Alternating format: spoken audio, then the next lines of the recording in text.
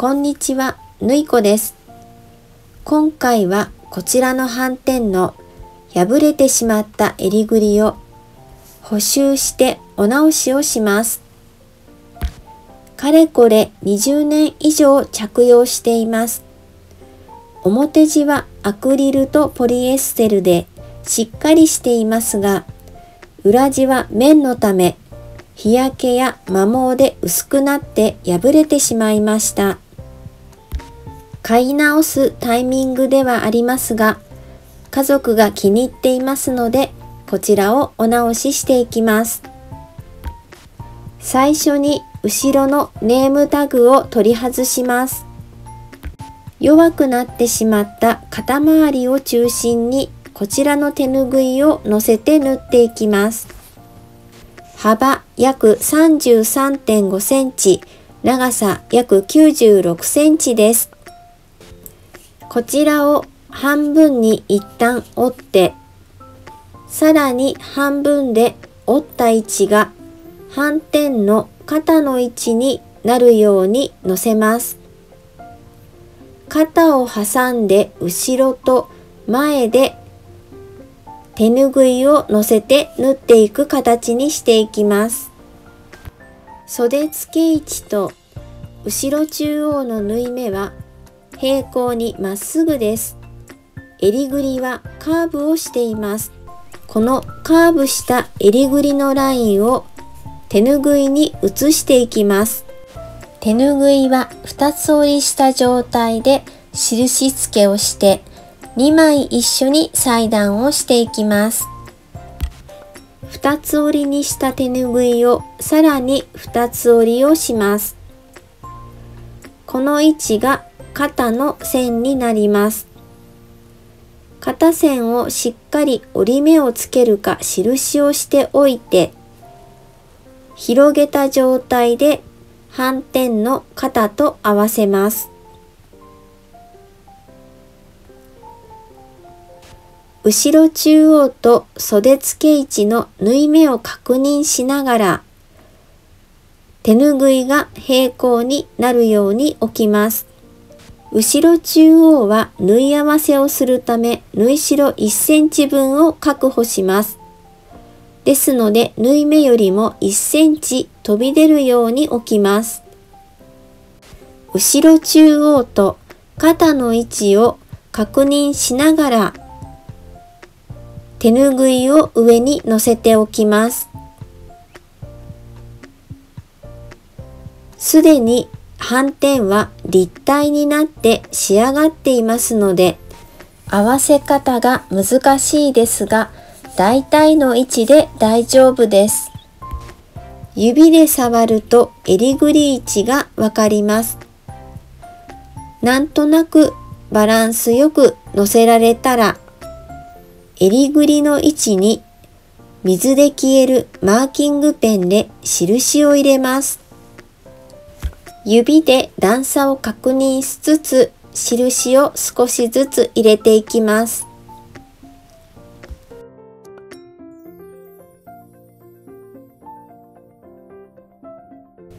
後ろ襟ぐりが書けたので前側も書いていきます。前を上にしておきます。肩の位置を合わせます。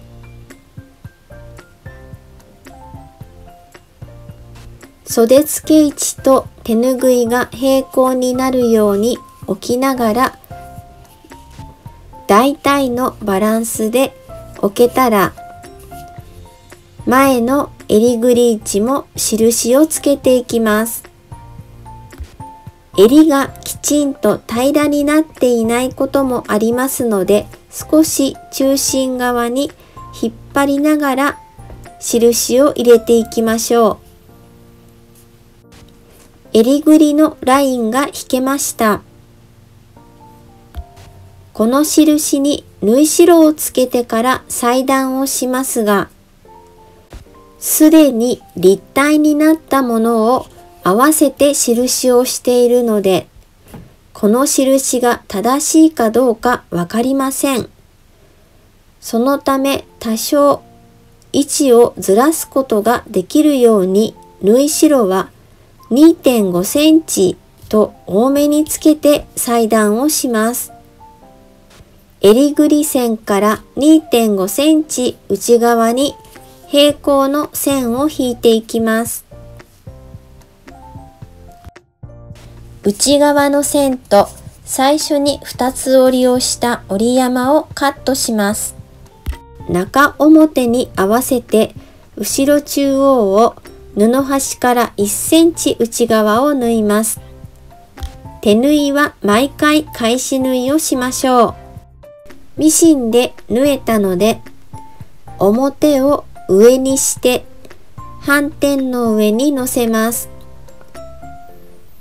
後ろ中央の縫い代ですが、反転の裏地の縫い代は右側に肩倒しされています。手ぬぐいの縫い代はその反対左側に肩倒しします。なお、手ぬぐい縫い代は割っても構いません。後ろ中央の位置を合わせます。肩線の折り目が反転の肩に合うように後ろ中央の高さを調整します。位置が決まったら待ち針で仮止めをします。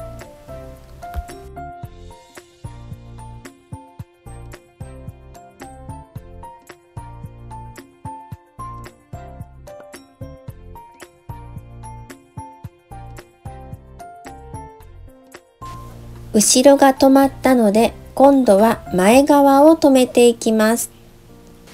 前が上になるように置き直します。襟ぐり縫い代2.5センチと多くなっていますので、カーブに沿わせやすいよう斜めに切り込みを入れます。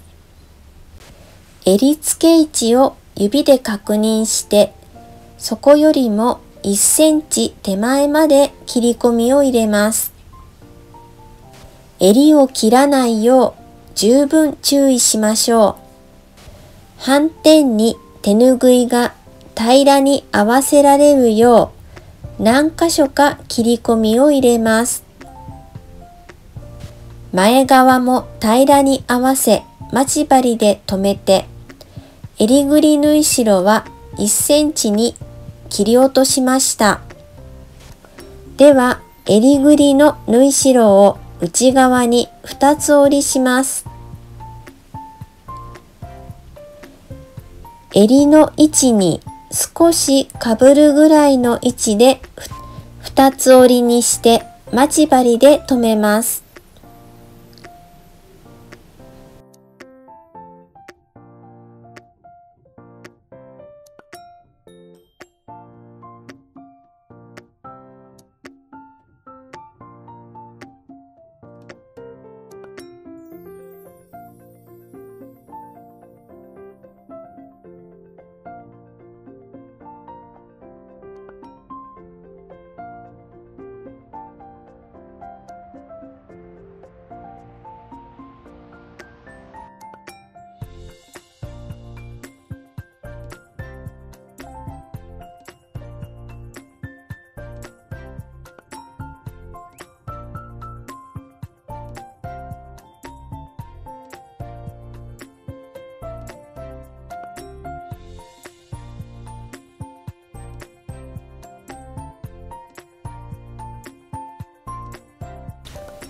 襟ぐりに待ち針ができました。前の裾は切りっぱなしになっていますので、こちらも1センチ内側に2つ折りをしておきます。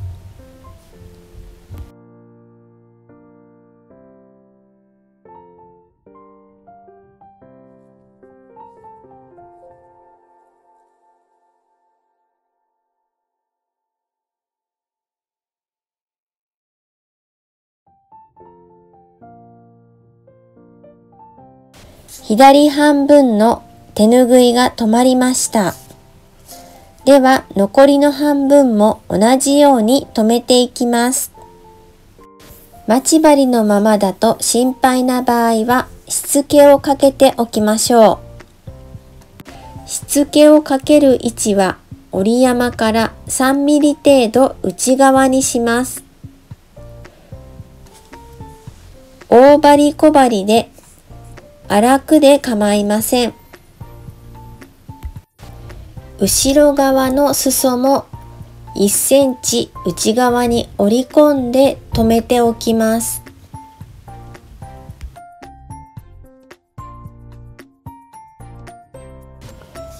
一周仮止めができたので手縫いで縫っていきます。手ぬぐいの布とそれに接する上側の布、裏地や襟1枚を作っていきます。表側はすくいません。中に綿が入っています。裏地と綿はぴったりくっついているわけではないので、綿はすくわずに縫っていきます。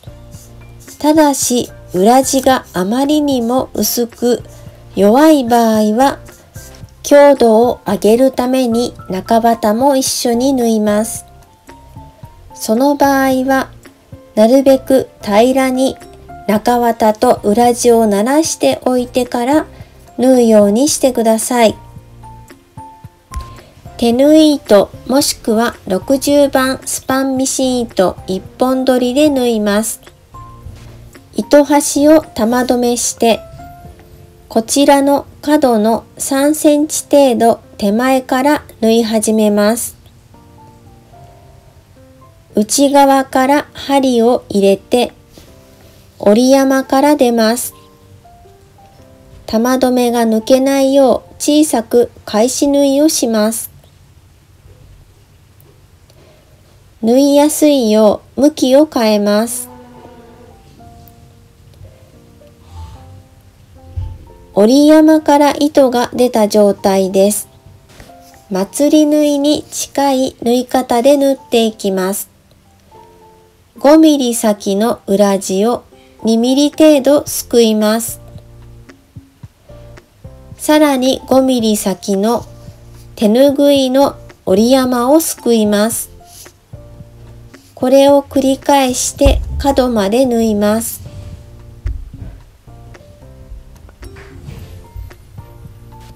糸がカタカナのハの字のような形で斜めに渡っていきます。角まで縫えたので袖側を縫い進みます。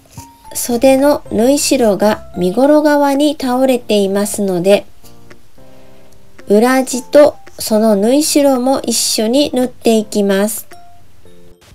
角はしっかり固定させたいので2針同じ位置を縫います。手ぬぐいから糸が出た状態です。2ミリほど進んで手ぬぐいと裏地、裏地の縫い代をすくって1センチほど進みます。2ミリ進んで1センチすくうを繰り返します。手ぬぐい側には2ミリの針目しか見えません。このまま次の角まで縫います。次の角まで来ました。こちらの角もずれないよう2回ほど重ねて縫っておきます。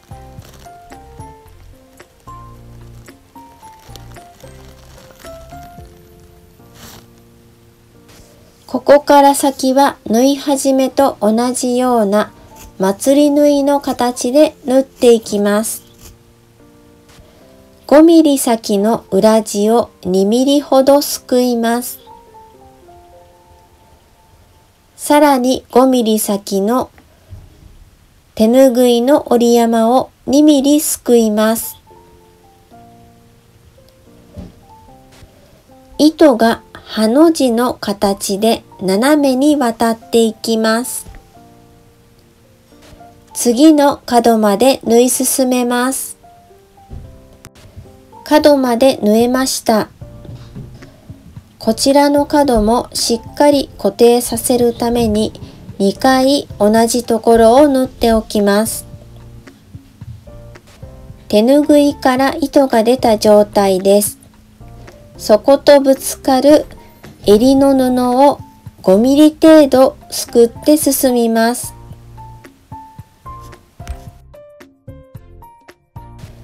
出たところとぶつかる手ぬぐいの折り山を2ミリ程度すくいます。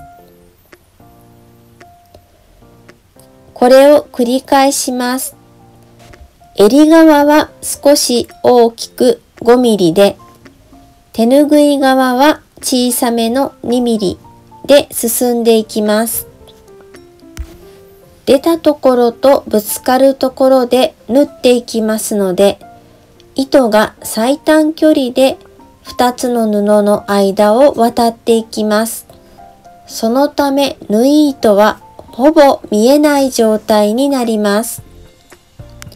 後ろ中央まで来ました。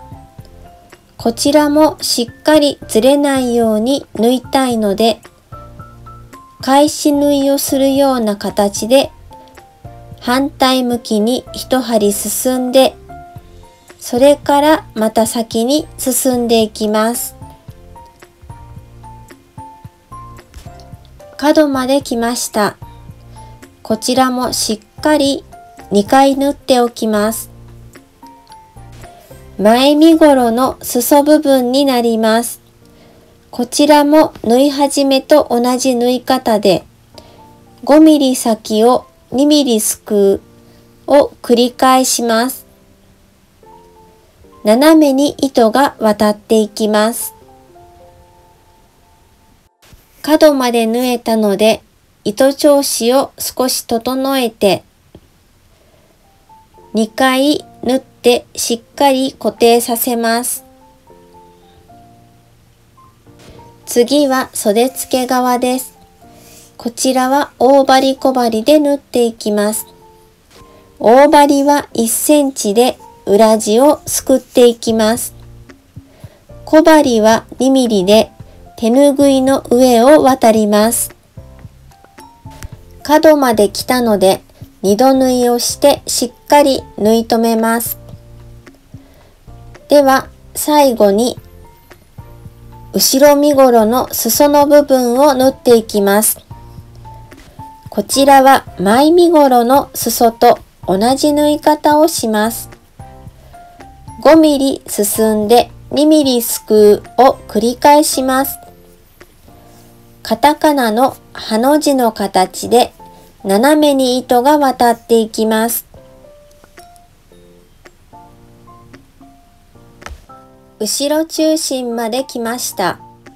こちらでは一度返し縫いをします。一針逆方向に戻って縫ってまた前に進んでいきます。スタート位置まで戻ってきました。こちらは角まで縫い重ねていきます。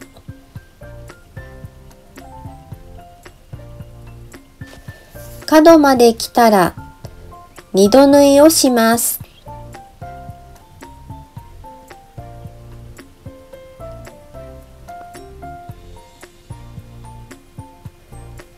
さらに2センチ程度縫い重ねます。最後、玉留めをする前に一度返し縫いをします。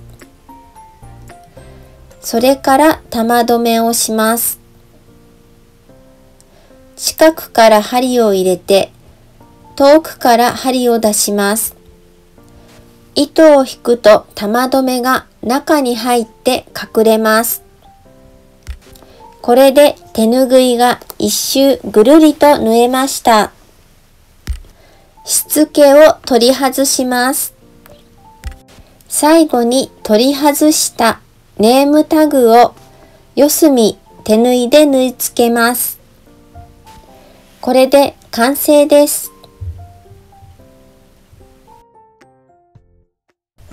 今回の斑点の破れてしまった裏地をお直しする方法はいかがでしたでしょうか？動画では手ぬぐいを使いましたが普通の生地でも大丈夫です。この動画が何かの参考になれば嬉しいです。これからも要塞、リメイク、お直しなどいろいろなご提案をしていきます。縫いこの洋裁教室を今後ともどうぞよろしくお願いします。ではまたお会いしましょう。